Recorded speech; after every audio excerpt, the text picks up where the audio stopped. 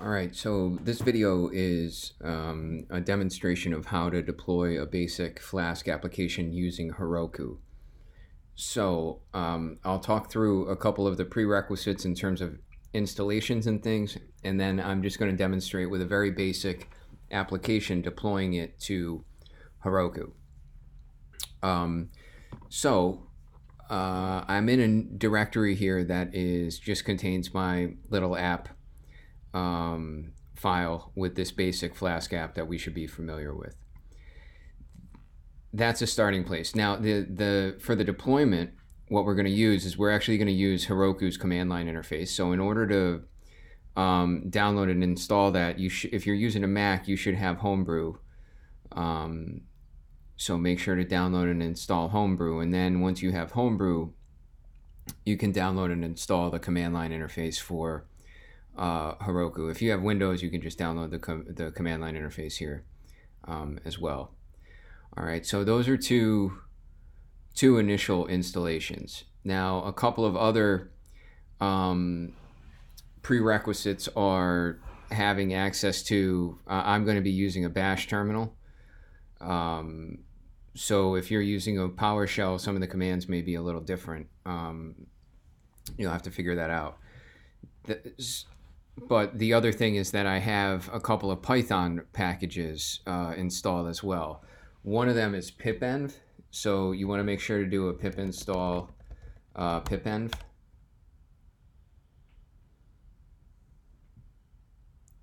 And we want to do a pip install gunicorn and we'll see a little bit more about gunicorn later but i'm really just going to kind of leave it as we're using gunicorn and we'll see it just in a little file. Um, it handles uh, requests and like makes makes our application more ready to be in a real deployment than um, some of the default settings um, out of the box from from flask. All right, so once we have those installed, what we want to do is uh, I'm in my um, directory that just contains my app.py uh, file. And I don't have any templates and I don't have any static files or anything like that yet. So it's just this app.py. The next thing I'm going to do is activate a virtual environment. And I'm going to do this by writing pipenv shell. And again, you need pipenv um, installed in order to use this. Now, what it's doing is it's creating a virtual environment and the virtual environment um, allows us to be consistent with versions of installs. So because we created this virtual environment, we don't have um, any of our ancillary kind of Python packages installed. So we're going to have to reinstall them. So I'm going to do a pip install. Uh, that's not pip install. Uh, pip install uh, Flask.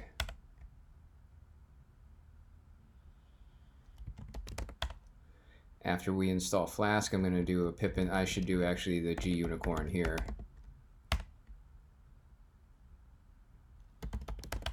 Okay, so after we install both of those, um, and I'm assuming that we have the command line interface for Heroku installed and set up, what we'll do is um, we'll commit this stuff and create a new uh, Git repository, and then uh, we'll connect it to Heroku.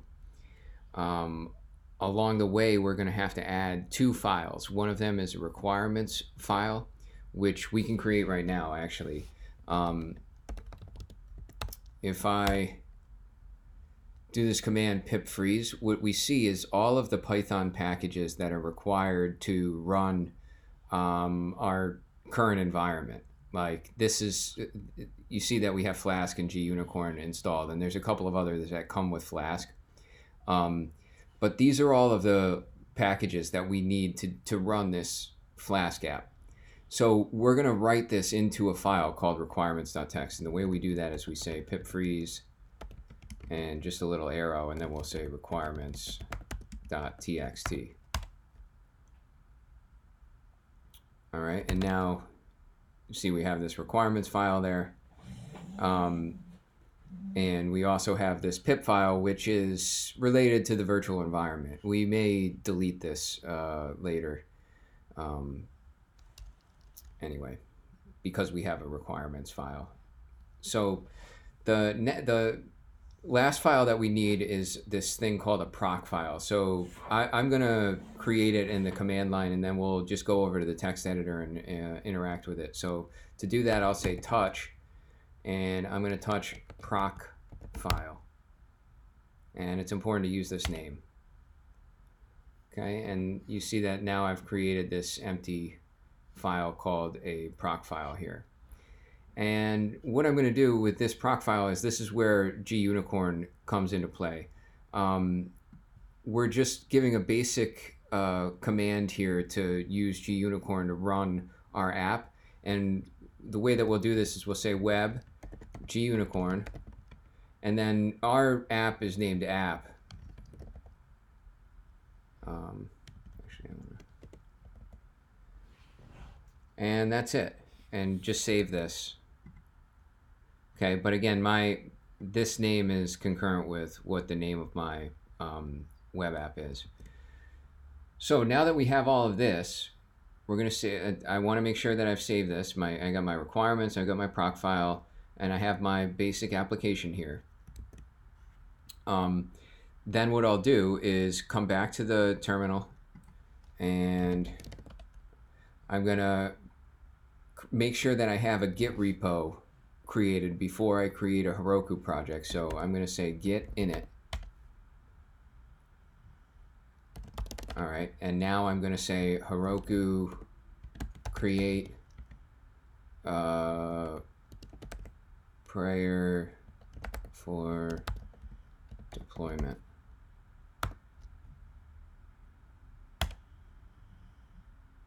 And what this does is this creates uh, Heroku project. And now the big idea with that Git um, repository and what just happened was we should have uh, Git remote. Uh, sorry. Yes, called Heroku.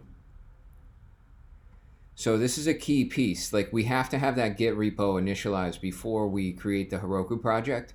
Um, but once we do, we're pretty much ready to, to go. So um, now what we do to deploy this is, and again, like the big idea is that we add in this Procfile to handle um, serving the application and we tell, we're going to tell Heroku what the Python packages are that are needed.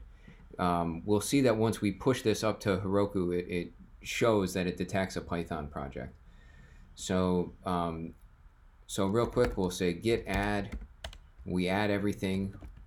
We'll commit. Um, trying to launch. And now what we'll do is we'll say git push Heroku master. And we should see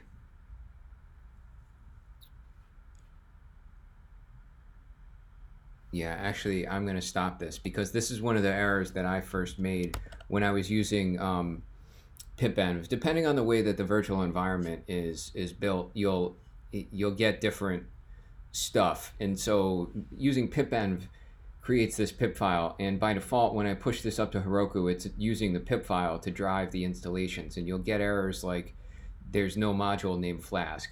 So I'm going to delete this um, this Pipfile and I'm going to come back here and, and do another add and commit. And my message is going to be deleted uh, Pipfile. And now I'm going to push this to Heroku master. And I, I knew that because I saw um, that it was using the Pipfile to do the installations. But now what we should see is we should see all of these libraries go through installations. And this will take a minute. Yeah, you see it downloading all of these other libraries.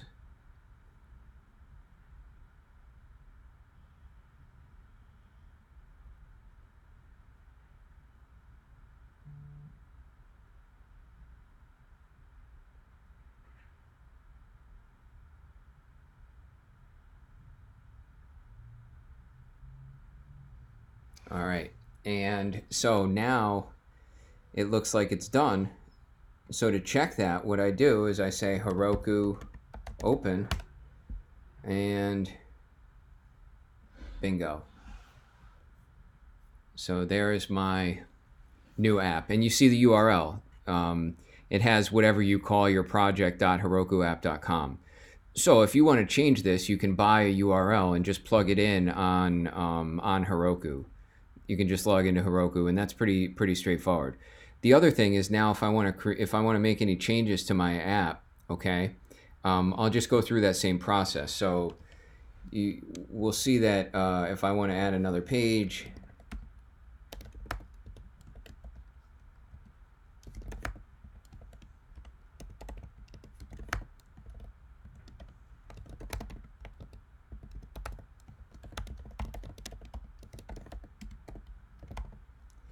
right? And um, just bring in, we'll see how to use templates, right? Uh, save this and I'll create a new folder uh, called templates. And in here, pop a new uh, about. And I'll just say, you know,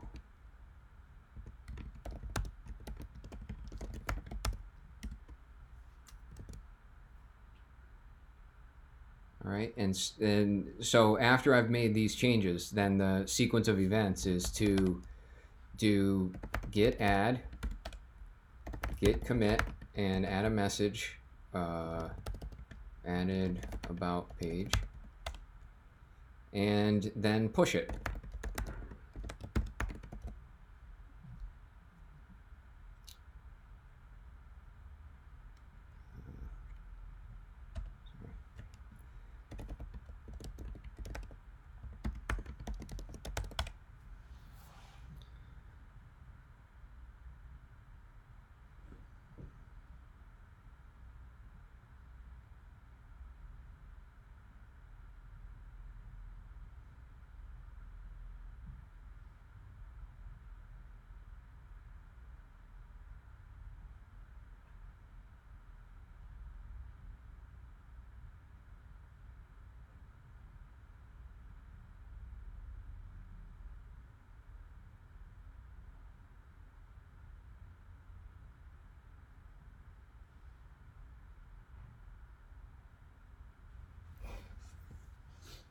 All right, and now if we go back, um, if I go to forward slash about, it should, yeah, okay, great.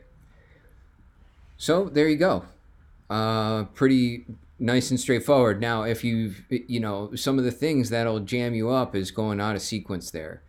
Um, make sure that you you have a Git repository initialized pretty early before you do anything with Heroku. Um, also, make sure that your gunicorn um, configuration is exactly like this, without uh, other spaces or different names. Okay, if your if your application is named something other than app.py, you'll have to change this app uh, value to reflect that. Um, great.